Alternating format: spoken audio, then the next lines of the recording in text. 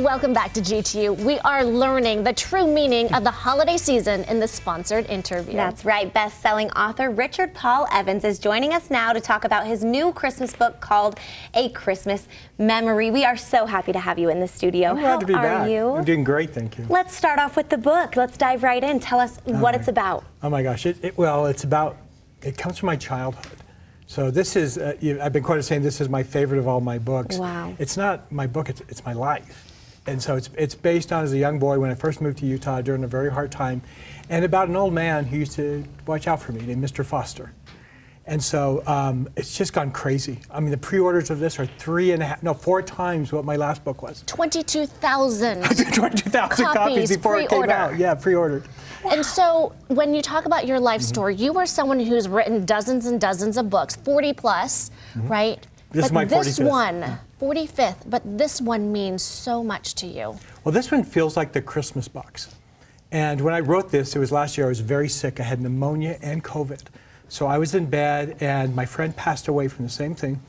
And, you know, two in the morning, I'm thinking, I might not make it. I'm very, very sick. And, um, and then this book started coming to me, and I had Keri bring me a notepad, and I wrote this in bed, Really? thinking I probably have COVID brain, it's probably going to be awful. And two months later, I read it. I thought, this is the best thing I've ever written.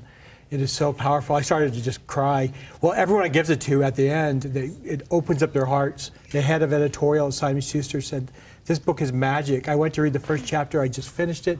I'm sobbing. She goes, I've never had a book move me like this.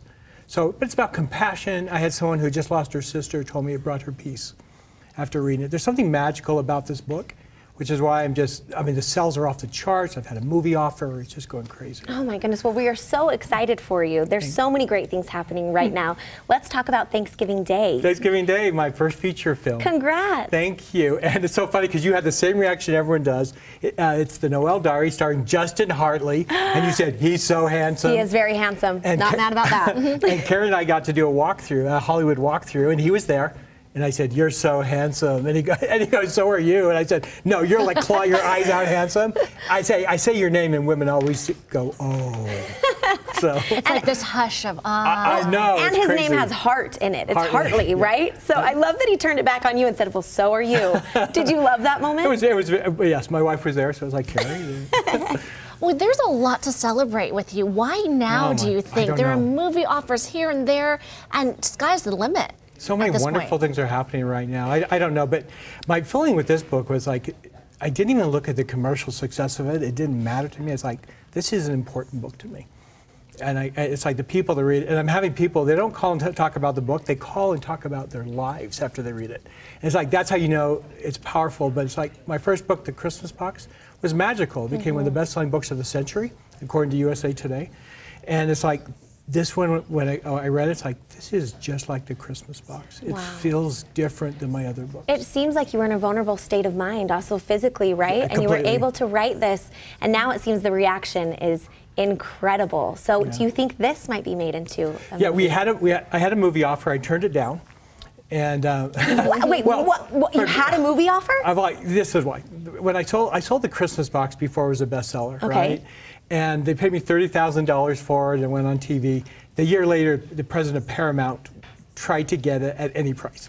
It would, I lost millions of dollars. But that's the bigger thing is it would have been in every theater in America. Wow. And so when he offered this one, I said, no, I'm waiting. And he goes, you have a strong black character in this book. Hollywood is hungry for that.